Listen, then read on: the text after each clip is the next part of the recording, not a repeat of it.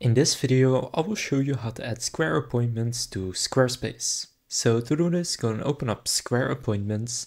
Then from here, what you want to do is click on appointments in the left menu. Now once you're in your appointments section, right here, you want to click on online booking and then click on channels. Now from here, you want to click on add your booking flow to an existing site. So click on get started right there. And then there are three options. You can either embed the booking flow in your website, so then a frame will show up and people don't even need to leave your Squarespace website in order to book. And that may just be the best option, but you can also add a booking button to your website and that will link to your Square customer booking flow or you can get your booking flow URL and have that added to your website. However, the first option I think is not great. What I would do is either add a booking button to your website or embed the booking flow in your website. So you can pick whether you want to add a button that then leads to your Square booking website. And if you're curious how that looks, you can see it right here.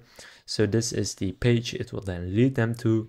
And from there, they can then choose a service and book that in. But if you want to create a button, just click create button, choose the color for it so you have a preview right there. And then scroll down then here you can customize it some more and then here you have the code and then you can simply add that code to your Squarespace website and that will then lead to your Square booking link that you can see up there but you can also embed the booking flow in your website by clicking get embed code and then you can add an HTML block to your website and then you can simply add this code right here into that HTML block. So I think this one may be the best option, but I would just try both the button and the embeddable flow and see which one you think looks best. So just go to Squarespace, open up your website builder and editor, and then add a custom HTML block to your website wherever you want to add it in. And then you can add this code, or you can choose to add the code from the booking button.